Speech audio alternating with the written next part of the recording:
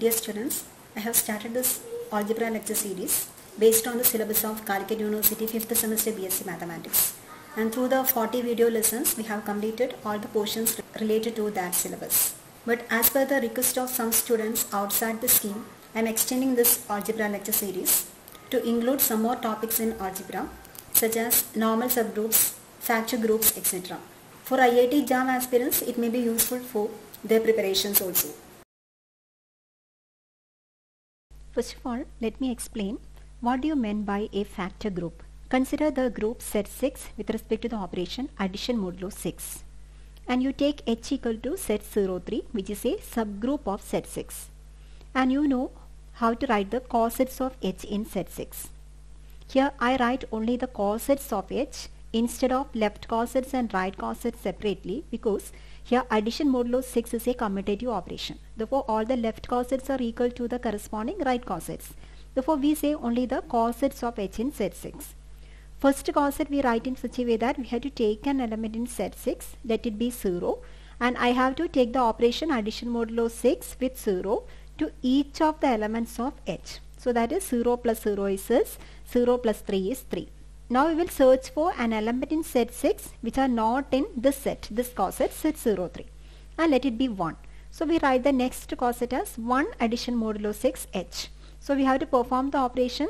1 addition modulo 6 to each of the elements in h. That is 1 plus 0 is 1, 1 plus 3 is 4 and the uh, and again we will search for the element in set 6 which are not in both of these cosets and it will be 2 and the third coset is 2 addition modulo 6h and we can see that these three cosets covers all the elements of set 6 therefore h has three cosets in set 6 now consider the group table corresponding to this group. And you know how to write the group table of set 6 addition modulo 6 I have written the group table in such a way that the elements are written in the order as they appear in the cosets.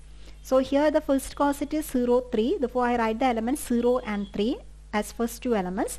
Then next two elements as 1 and 4 which is the elements in the second coset. And uh, last two elements are 2 and 5 which are the elements in the third coset. And uh, you can fill the group table corresponding to the order of elements in this way. For example, if you want to find uh, 5 star 2 that is 5 addition modulo 6 2 that is 5 plus 2 is 7 7 when divided by 6 the remainder will be 1 therefore 5 star 2 is 1 here the operation star is addition modulo 6 likewise you can complete the group table here. I have given here different colors to the elements corresponding to different cosets now you can see that we can construct another table as shown here in which the blocks of numbers having same color are named corresponding to their color. Here, for example, 0 addition modulo 6h which is the first coset is represented by the letter R and the elements in this coset is written in red. Next coset, the set 1, 4 is represented by B in which the elements are written here as blue letters and the last coset 2, 5 is represented by W in which the elements here are represented by white letters. Then you replace each of these blocks by the corresponding names. Then you will get such a table here. You can see that if you consider a set G containing the elements R, B, W together with the operation star which is defined as per this table produces a group that is G star is a group. How we can verify that it is a group? you have to check whether the operation star is binary. Clearly the operation is binary here. All the resulting elements are the elements in the set itself and you can check that the operation is associated here. What is the identity element? Clearly R is the identity element because R star R equal to R, R star B equal to B, R star W equal to W. If we take an element in the set and we take an the operation star with the element R, the resulting answer will be that element. So we can say that R here is the identity element. And what are the inverses of the elements? R star R equal to R means that R is the inverse of itself. B star W equal to R. That means that W is the inverse of B. And B is the inverse of W. So all the elements has inverses also. So we, can conclude that this G star becomes a group. So given a group set 6 addition modulo 6 and a subgroup H equal to set 03, we constructed another group here. And what are the elements of the new group? It is set of all cosets of H in set 6. That is 0 addition modulo 6H which is represented by R then 1 addition modulo 6H which is represented by B and 2 addition modulo 6H which is represented by W. So this is the new group we constructed here according to this group table. This group is actually called the factor group of set 6 over H. So we have the group set 6 and a subgroup H and we write all the cosets of H in set 6 then we showed that it forms a group and that group that is a set of all cosets of H in set 6 is called the factor group of set 6 over H. Now let me ask a question. Given a group G and one of its subgroups H, whether we can construct a factor group G over H. That is, is the process possible for any group G and all of its subgroups H? We will answer this question through an example again. Now consider the group S3 equal to set rho 0 rho 1 rho 2 mu 1 mu 2 mu 3 which contains set of all permutations on three symbols. We consider the subgroup H equal to set rho 0 mu 1.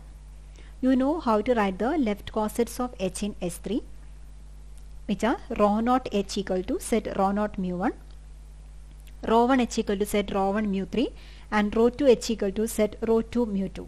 How you can write the cosets here? For example, rho 2 h is rho 2 star rho 0 which is rho 2, rho 2 star mu 1, let us go to the table, rho 2 star mu 1 is mu 2. So here we have mu 2. Likewise, you can write the left cosets of h in S3. Similarly, the right cosets of h in S3 are h rho 0 equal to set rho 0 mu 1, h rho 1 equal to set rho 1 mu 2 and h rho 2 equal to set rho 2 mu 3. This is the group table corresponding to S3. Now let us try to construct the factor group of S3 over this particular subgroup H. So we have to write the group table in such a way that the elements are listed in the order in which they are appearing in the left cosets of H and G. So first two, two elements are right as rho 0 and mu 1 third and fourth elements which are the elements in the second coset rho 1 mu 3 and the elements in third coset rho 2 mu 2 as the last two elements.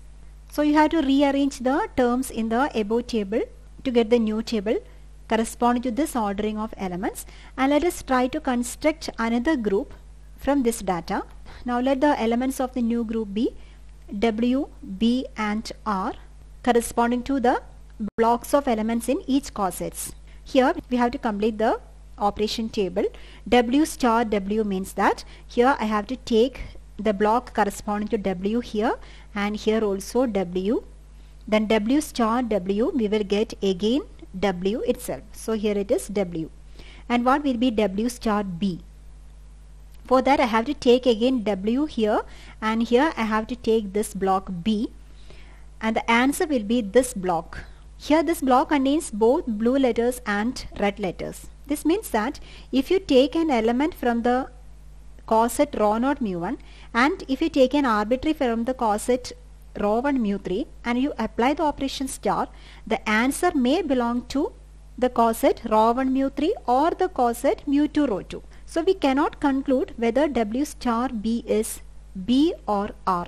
This happens here because we cannot construct a factor group of S3 over this particular H.